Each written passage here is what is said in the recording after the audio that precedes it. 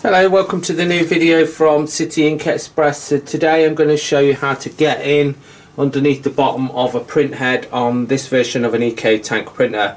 So reasons you might want to do this is basically you have a complete blockage, you've tried some head flushes, head cleans and various other things and this is the last ditched attempt basically to try and unblock it before you have to take it for service, dispose of it, or, or, whatever you're going to do with it. So basically, this is something that you could try, which may help solve this.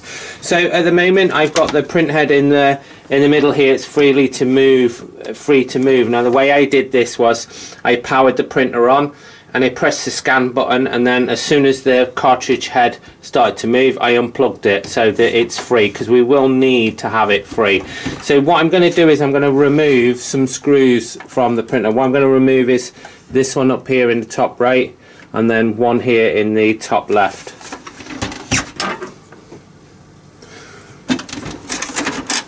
So the reason for removing them is I just have to get in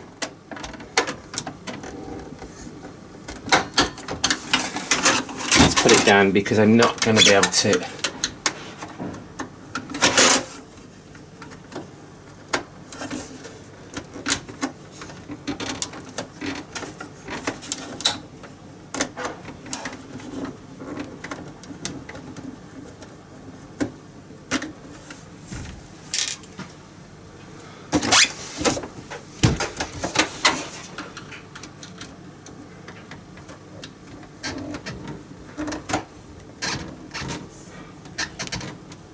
So remember you must have this unplugged.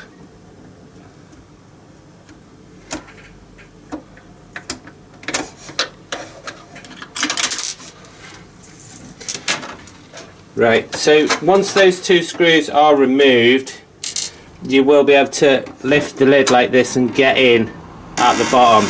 So what I'm going to do is I'm going to lift the lid partially, prop it open so we can get in there so you can see what I'm doing. So I'm just going to pop pop some gloves on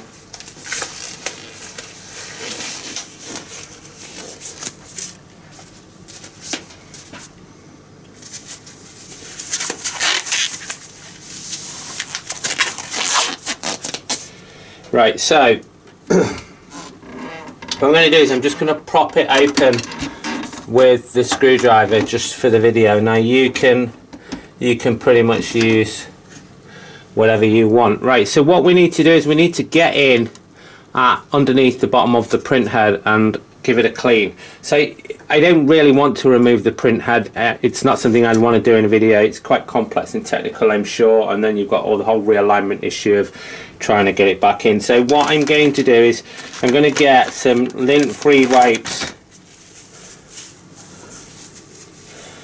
And what I'm going to do is I'm going to fold them fold them over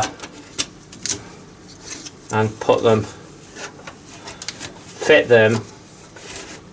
So what I'm going to do is I'm going to fit it between the channel in here. So let's just there and then I'm going, to, slide the print head over the top. Now before I do what I'm going to do is I'm going to take it's a mixture of distilled water. So 80% distilled water 20% alcohol solution and I'm going to take a syringe.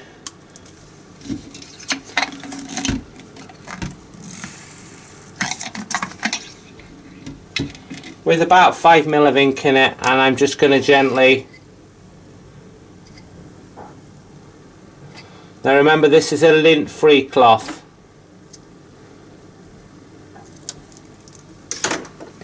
I'm going to slide the print head over the top of it like so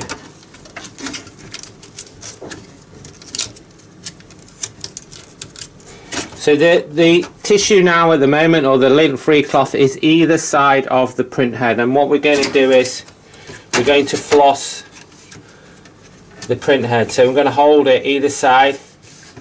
Now I do apologise if you if it's hard to see exactly what I'm doing. So you can see I'm basically just pulling it, flossing it from right to left, like that and then what I'm going to do is I'm just going to leave it for about 5 or 10 minutes just to soak up the bottom of the print head and try and break down those dried particles on your print head. So what I'm going to do now is like, uh, rather than just cut the video. So I'm just going to pretend it's five minutes later now 10 minutes. It doesn't really matter. I would say like no more than 10 15 minutes tops anywhere between 5 and 15 minutes. There's no hard and fast rule with this. Basically if it doesn't work first time you can try it again. You've got nothing to lose you know your printer's already blocked. So again just imagine like 5 or 10 minutes has gone. Just come back to it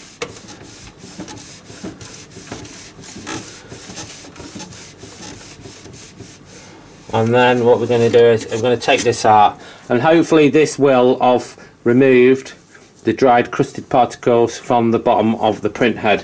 So you can basically just put the printer back together. Slide it back over to the right.